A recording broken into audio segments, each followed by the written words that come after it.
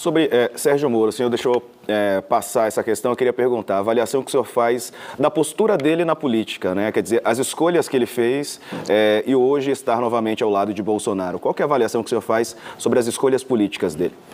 A questão do Bolsonaro eu respeito. Segundo turno, como eu disse, tem Bolsonaro e tem Lula, ele preferiu Bolsonaro. O que eu quero ver é a oportunidade que ele terá daqui para frente, a partir de janeiro, como cidadão eleito, ele como político, como senador com mandato, e aí ele vai ter uma oportunidade adicional de ser avaliado. Até aqui ele foi bem? Nas escolhas que fez? No judiciário, eu acho que ele. Não, na política. Não, nem começou. Segundo turno é um direito como cidadão.